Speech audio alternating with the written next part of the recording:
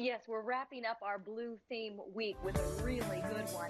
This one is actually called Blue Man, and you can kind of see it.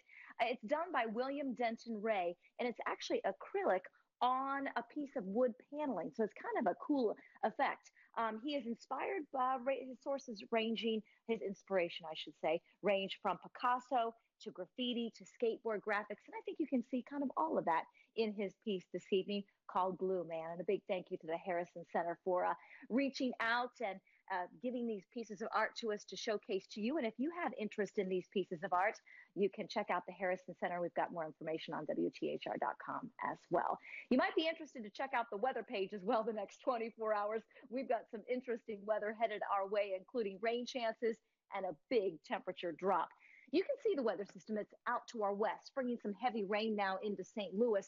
So the leading edge is getting a little closer to us. Forecast to arrive here around 2 a.m. or so. Right now, we're still dry with increasing clouds and 53. Temperatures this time tomorrow will be much, much cooler. In fact, tomorrow during the daylight hours, we're only going to be in the upper 40s and low 50s. Might get 51, 52 if uh, the rain comes to an end fast enough. But be prepared for the rain to be steady at times, especially the early part of tomorrow. Again, forecast to arrive after 2 a.m. This is 7 o'clock tomorrow morning. A damp start to our Friday. The rain will continue to fall through midday, but you'll notice that farther north you go, the rain starts to come to an end.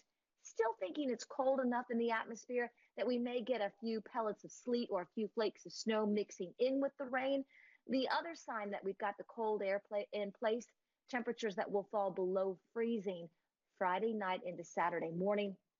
In blue, that's a freeze watch. Purple, a freeze warning. I imagine all of us will be under a freeze warning by this time tomorrow as we forecast temperatures Friday night into Saturday morning in the upper 20s and low 30s. We've got 30 in the forecast. The record low for Saturday morning is 29, set back in 1947.